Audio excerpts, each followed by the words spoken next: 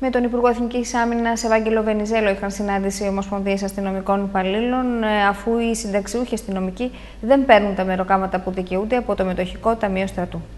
Ε, η Πανελλήνια Ομοσπονδία Αστυνομικών Υπαλλήλων είχε συνάντηση με τον, τον Υπουργό Εθνικής Άμυνας, τον κύριο Βενιζέλο, σχετικά με, τη, με το Μετοχικό Ταμείο του Στρατού. Υπάρχει πρόβλημα και σοβαρό πρόβλημα στην απόδοση των μερισμάτων ε, στους συνταξιούχους αστυνομικούς αυτή τη στιγμή υπάρχει, ε, δεν έχουν πληρωθεί το τρίμηνο που έπρεπε να, να πληρωθεί και είχαμε πληροφορίες πως ε, υπήρχε ε, να συνεδριάσει, υπήρχε συνεδρίαση του Μετοχικού Ταμείου του Στρατού κατά το οποίο θα υπήρξε αναστολή των πληρωμών για όλο το 2011.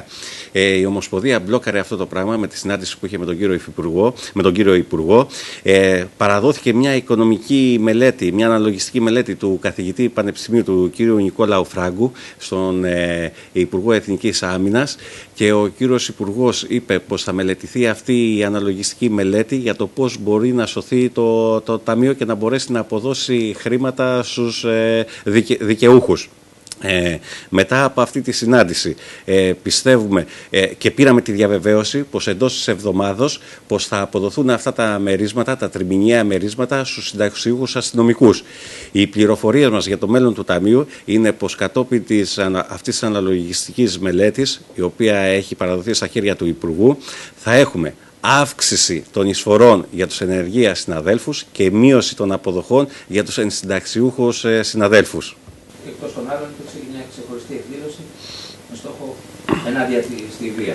Ναι, όντως την προηγούμενη εβδομάδα είχαμε μια ημερίδα, η Ομοσπονδία μας δηλαδή, διοργάνωσε μια ημερίδα ε, ενάντια της βίας από όπου και αν αυτή προέρχεται. Πραγματοποιήθηκε στην Αθήνα, όπου παραβρέθηκαν εκεί ο Υπουργός Προστασίας του Πολίτη, ο Υπουργός Προστασίας του Πολίτη, ο Αρχηγός Ελληνικής Αστυνομίας, ο Υπαρχηγός Ελληνικής Αστυνομίας ε, και ο Υφυπουργός Αθλητισμού και εκπρόσωποι της Super League.